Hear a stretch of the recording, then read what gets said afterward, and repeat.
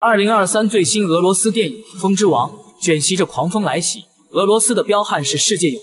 虽然每一个人都曾经有过梦想，但是只有为数不多的人在坚持着自己的梦想。当热气球被众人抬出来的时候，就知道这场旅行不一般了，太大了，整个的长度高达一百八十米，必须要人工加起。这个时候，费奥多尔正在给小儿子讲解自己的行程计划。他计划乘坐热气球围绕地球一圈。小儿子看着他的图案似懂非懂。这是一场孤单的旅程。和妻子告别后，费奥多尔就打开氢气阀门，急速的燃烧，让气球快速的膨胀。老练的费奥多尔立马就知道是时候启程了。下面的人割断绳索，在所有人的见证之下，他开始向天空飘去。从这一刻开始，费奥多尔将迎来意想不到的灾难。从十米到一百米，再穿过云层，看到云的上面还是云。大概在八千米高空，费奥多尔关掉了阀门，让气球开始自行随着高空气流运行。费奥多尔时刻和自己的团队保持联系。小儿子也时刻给爸爸鼓励。费奥多尔没有和小儿子说自己的危机，而他现在却真的遇到了大问题，因为他关掉了阀门，而高空的气压和温度直接将喷嘴给堵上了厚厚的冰。费奥多尔只能手动清除冰块，虽然能点燃了，但是更大的危机开始了。在行驶七千二百公里左右，驾驶舱里开始剧烈的晃动，暴风雨已经靠近了。团队里的安吉拉是最着急的，因为他将所有的钱全部投入到这次的项目里了。如果费奥多尔失败了，那么他就彻底破产了。团队里的人开始让费奥多尔关闭阀门，让气球下降，躲避这次的风暴。那么费奥多尔这个人到底是不是真的？是真实的。这部电影基本记录了他在2016年驾驶热气球环游世界最快纪录。所有的天才绝对都是从小就有了非常特殊的爱好，费奥多尔也不例外。他对风有着着迷的追逐。他的父亲关闭他，将他画的气球全部撕碎，也没有拦阻他那颗热爱的心。就在他妈妈送食物的时候，费奥多尔已经驾驶小船出海。经过一夜的风暴，父亲在海边等着这个不省心的儿子，然后告诉他要把他送到寄宿学校去。当费奥多尔看着远去的背影，他知道他离风已经慢慢远去。时光再回到二零一六年的天上，此时费奥多尔已经经过暴风雨，行驶了一万八千多公里。此时他的团队通过对天气的观测，确认他现在正在经过南美洲，而此时南美那边的气流非常的强大，高空气压是非常低的。但是他还是答应了，他嘲笑了团队的大惊小怪。但是就在他不知不觉中，已经呼吸缓慢，气压无法再将简易的换气装置压缩，而因为呼吸缓慢，也引起费奥多尔沉睡。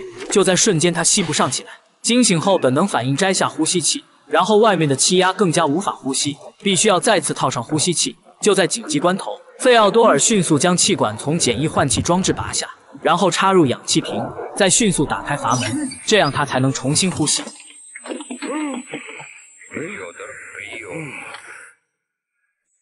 这下费奥多尔彻底明白低气压的恐怖了，团队这边也吓坏了。费奥多尔报告了自己安全后，检查了所有的设备，温度、气压都报告后，费奥多尔走出舱外，检查风速和气嘴冷冻情况。很显然，此时的情况非常的糟糕，不但气压低，而且温度也很低。费奥多尔将喷嘴处清理后，听到了一个最坏的消息：接下来的航线将会经过澳大利亚，而此时他们的前面已经形成了超强气流。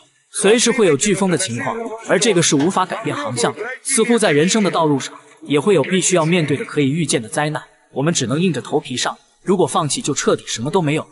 他看看驾驶室里的亲人的照片，对自己说：绝不能放弃。就这样，费奥多尔进入了强对流天气。热气球在巨大的云柱之间穿行，此时如同蚂蚁一样的热气球，稍稍不注意，就会被龙卷风彻底摧毁。在真正的大自然面前，所有的力量都是脆弱的，也是毫无反抗之力。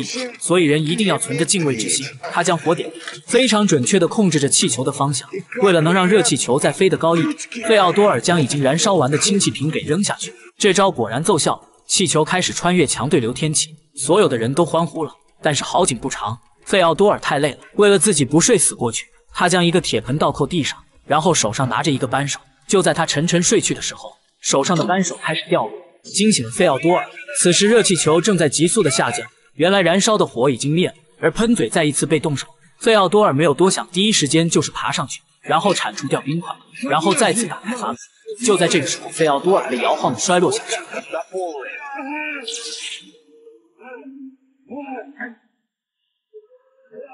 幸好他身上有安全绳，将他牢牢抓住。费奥多尔立马抓住绳子，开始爬上气球。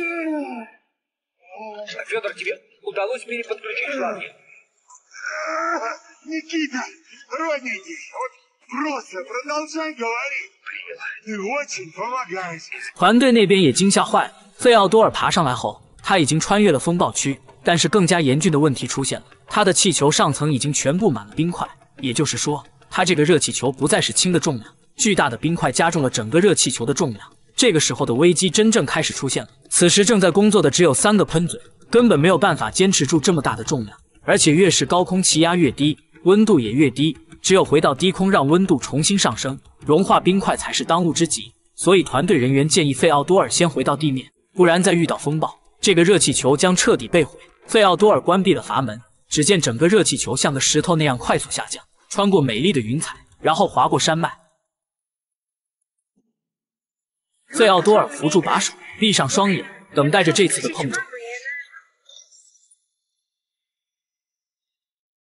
在又一次的碰撞中。击中了冰块，冰块也开始裂开，巨大的冰块开始滑落。眼看着表里的数据，费奥多尔认为可以点火的时候，意外发生了，冰块砸中了他的驾驶室，费奥多尔被撞。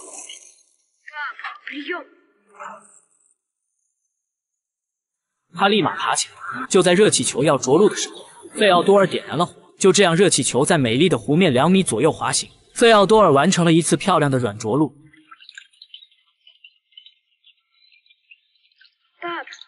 他立马拿起话筒，将自己安全的消息告诉了团队，人们的心都要跳起来。热气球再次开始飘了起来，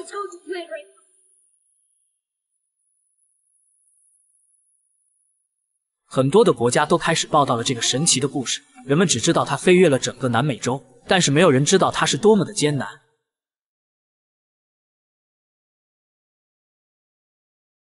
更大的灾难再次临到，团队那边已经检测出更大的飓风就在他的航线上。费奥多尔听到消息，看看前方，他知道这次危险了。他一屁股坐了下来，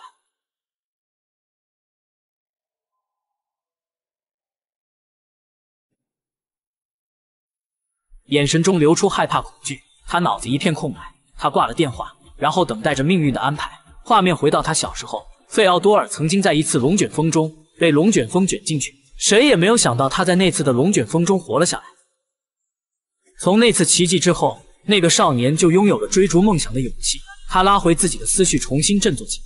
他再次站立起来。他相信自己可以再次创造奇迹。面对巨大的恐惧，面对即将到来的死亡，我们能做的只有直面迎接。没有什么比战胜死亡恐惧的勇气更加宝贵。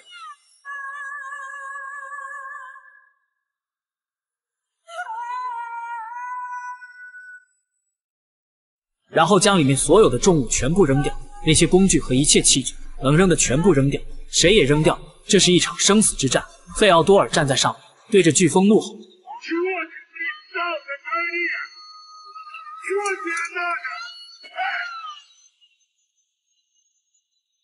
然后开始割断用完的气体。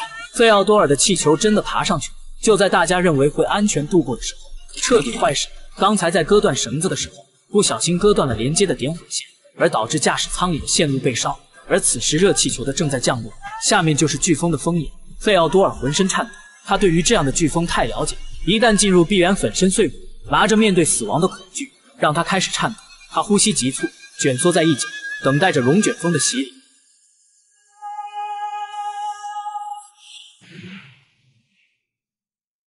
而他已经休克了，意识模糊。团队这边一直在喊叫他的名字。终于，他被喊醒，他需要重新振作起来。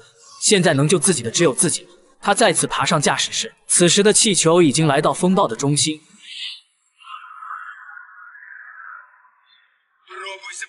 由于风速太大，仅剩的几个燃烧口也被风吹灭。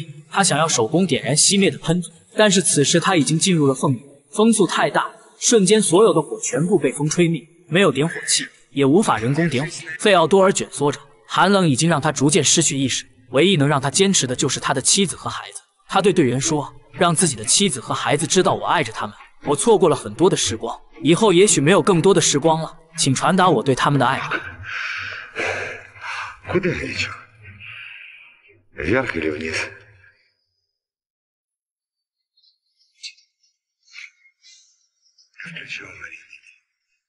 队员告诉了他的妻子，他们流泪的拥抱在一起，谁都知道是什么在等着他们。费奥多尔在弥留之际看到了自己的爷爷。在年轻的时候，就是爷爷告诉自己，如果有梦想，那就去追。如果别人拦阻你就放弃了，那不叫梦想。真正的梦想是打不倒的，真正的梦想是力量，是对生命探索。费奥多尔再次感觉到了力量，那种对梦想的力量，那种对生命的追寻。已经。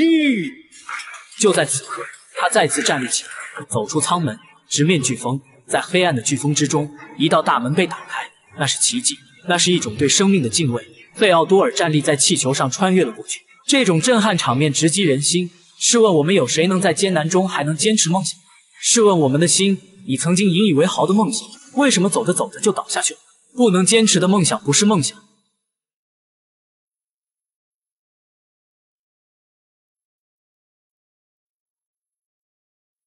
当队员的对讲机里再次传来费奥多尔的声音，所有的人都震惊了，整个新闻界也疯狂了，因为费奥多尔打破了世界纪录。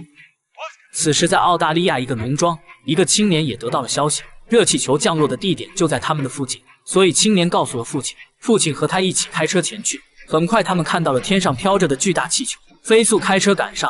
青年爬上车，终于抓住了绳索。就在气球快要掉落悬崖之际，父亲将车给刹住。